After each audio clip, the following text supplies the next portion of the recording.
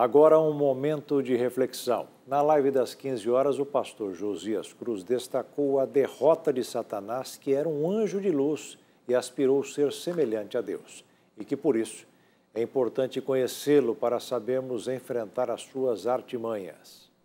Vamos falar sobre a derrota de Satanás, é a nossa sexta lição do curso Fé e cada lição melhor que a outra. Então, a gente começa hoje segunda, vamos até sexta-feira falando sobre a derrota de Satanás. Então, para começar na nossa lição, ela começa com um texto bíblico de Isaías 14, versículo 12, que diz: Como caíste do céu, ó estrela da manhã, filha da alva, como foste lançado por terra, tu que debilitavas as nações.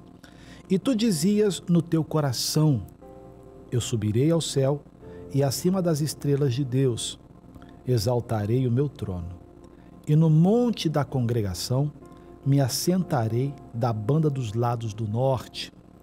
Subirei acima das mais altas nuvens e serei semelhante ao Altíssimo. E contudo levado serás ao inferno, ao mais profundo do, do, do abismo.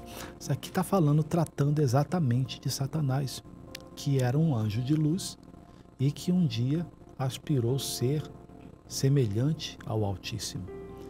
Aí foi aí que nasceu o orgulho, né, a prepotência e aquilo tirou, né, não só a função que ele tinha, né, que que cuidava do coral, ainda perdeu o céu.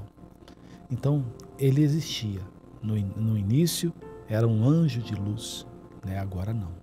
Agora não, já não é como, como foi um dia. Hoje ele se tornou em algo terrível. E aqui então fica claro que da existência desse ser maldito. Nesta e nas próximas lições conheceremos a origem do diabo. Como ele entrou no mundo, seu modo de agir e como devemos resistir-lhe. Então, isso aqui tudo tem que se aprender. Eu mesmo, quando comecei na, na igreja, eu jovem ainda, eu achava que não existia o mal, que não existia Satanás. Mas a gente pode olhar, observar, né, nesse mundo que vivemos, a ação dele. A Bíblia diz que ele veio senão a roubar, matar e a destruir. Jesus veio trazer vida e vida com abundância. Então, em toda destruição, toda desgraça, tá, está a mão do diabo. É importante conhecê-lo para que possamos enfrentar suas artimanhas. Por isso, primeiro, temos de saber quem ele é. Muitos não acreditam que o diabo existe, mas ele é real e o responsável por todos os sofrimentos e pelas calamidades que afligem a humanidade. Satanás manipula e engana as pessoas para que pratiquem atrocidades, se não fosse ele o, acusador, o causador de todos estes males, quem seria? A gente vê a destruição no mundo. Né? Cada, cada maldade que você diz, meu Deus, isso foi feito por uma pessoa. Alguém diz assim, ah, mas é, é gente ruim. Mas são pessoas que são usadas pelo mal. O diabo, ele só pode ter é, é, acesso na vida da pessoa que permite. Se a pessoa não permite, ela está com o coração em Deus, ela fecha as portas para o mal entrar. E ela não faz aquilo que é do diabo, ela faz aquilo que agrada a Deus.